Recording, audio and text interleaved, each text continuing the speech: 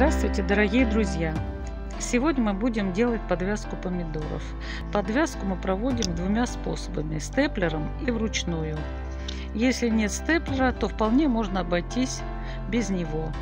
Степлером э, мы подвязку проводим там, где стебель тонкий и хорошо прилегает к колышку. Конечно, им пользоваться удобно и гораздо быстрее все это получается – но там, где помидоры ветвятся и завязались плоды, не всегда удобно крепить степлером.